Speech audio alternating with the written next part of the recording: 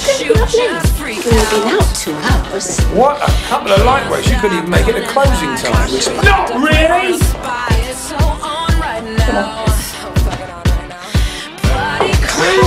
Which one of you is Sherlock Holmes? It's clearing for looks. Don't compromise the integrity of the crime scene.